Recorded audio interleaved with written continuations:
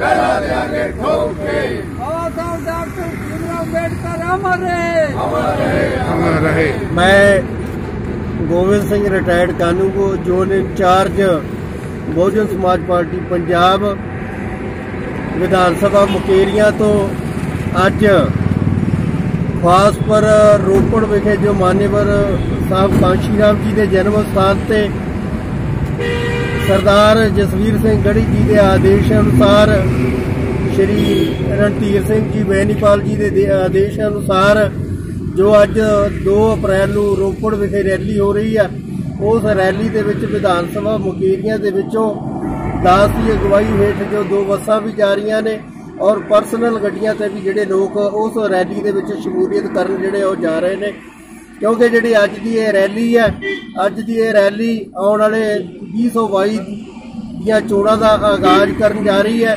ਜਿਸ ਦੇ ਵਿੱਚ ਅੱਜ ਲੱਖਾਂ ਦੀ ਤਾਦਾਦ ਦੇ ਵਿੱਚ ਪੂਰੇ ਪੰਜਾਬ ਦੇ ਵਿੱਚੋਂ ਜਿਹੜੀ ਆ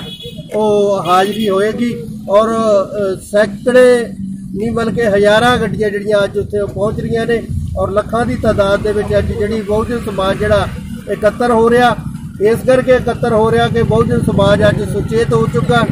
ਜਾਗਰੂਕ ਹੋ ਚੁੱਕਾ, ਕਿਉਂਕਿ ਪਤਾ ਲੱਗ ਚੁੱਕਿਆ ਚਾਹੇ ਦੇਸ਼ ਦੀ ਸਰਕਾਰ ਪੰਜਾਬ ਦੀ ਸਰਕਾਰ ਕਾਂਗਰਸ ਦੀ ਹੋਵੇ ਜਾਂ ਬੀਜੇਪੀ ਦੀ ਹੋਵੇ, ਉਹਨਾਂ ਸਰਕਾਰਾਂ ਨੇ ਆਮ ਜਨਤਾ ਦਾ ਘਾਣ ਕੀਤਾ ਔਰ ਆਮ ਜਨਤਾ ਉਜਾਗਰੂਕ ਹੋ ਚੁੱਕੀ ਹੈ। ਇਸ ਕਰਕੇ ਇਹਨਾਂ ਨੇ ਮਨਾਂ ਦੇ ਅੰਦਰ ਇਹ ਜਿਹੜਾ ਉਤਸ਼ਾਹ ਭਰ ਦਿੱਤਾ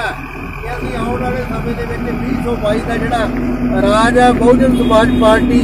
ਮੈਂ ਆਪਣੇ ਮਾਧਿਅਮ ਤੇ ਜਿਹੜਾ ਲੈ ਕੇ ਆਉਣਾ ਔਰ ਉਹਦੇ ਲਈ ਇਹ ਸਾਰਾ ਸਮਾਜ ਜਿਹੜਾ ਤਤਪਰ ਹੈ। ਸਾਰੇ ਸਾਥੀ ਪਿੰਡਾਂ ਪਿੰਡਾਂ ਚੋਂ, ਸ਼ਹਿਰਾਂ ਸ਼ਹਿਰਾਂ ਚੋਂ ਇਸ ਗੱਲ ਦੇ ਲਈ ਤਤਪਰ ਬੈਠੇ ਨੇ ਕਿ ਅਸੀਂ ਜਲਦੀ 2022 ਦੇ ਵਿੱਚ ਆਪਣਾ ਰਾਜ ਲੈ ਕੇ ਆਈਏ ਤਾਂ ਕਿ ਜਿਹੜਾ ਲੋਕਾਂ ਦੇ ਨਾਲ ਜਿਹੜੀਆਂ ਨਾਇਨਸਾਫੀਆਂ ਹੋ ਰਹੀਆਂ, ਬੱਚਿਆਂ ਤੇ ਜ਼ੁਲਮ ਔਰ ਤਸ਼ੱਦਦ ਹੋ ਰਹੇ ਨੇ, ਬੇਟੀਆਂ ਦੇ ਕਤਲ ਹੋ ਰਹੇ ਨੇ ਜਾਂ ਜਿਵੇਂ ਤਾਜੀ ਘਟਨਾ ਕੱਲ ਦੀ ਜਿਹੜੀ ਆ ਹੁਸ਼ਿਆਰਪੁਰ ਵਿਖੇ ਵੀ ਵਾਪਰੀ ਹੈ, ਇਹ ਜੋ ਘਟਨਾ ਵਾਪਰੀ ਹੈ ਤੇ ਕਾਂਸ਼ੀ ਰਾਮ ਜੀ ਦਾ ਇੱਕੋ ਕਹਿਣਾ ਸੀ ਕਿ ਜਿਨ੍ਹਾਂ ਲੋਕਾਂ ਦਾ ਰਾਜ ਹੋਇਆ ਕਰਦਾ, ਉਹਨਾਂ ਦੀਆਂ ਧੀਆਂ ਭੈਣਾਂ ਮਹਿਫੂਜ਼ ਹੁੰਦੀਆਂ ਨੇ। ਬਹੁਜਨ ਸਮਾਜ ਨੂੰ ਇਸ ਗੱਲ ਦਾ ਅਹਿਸਾਸ ਹੋ ਗਿਆ ਕਿ ਜੇਕਰ ਅਸੀਂ ਆਪਣੀ ਇੱਜ਼ਤ, ਪੱਤ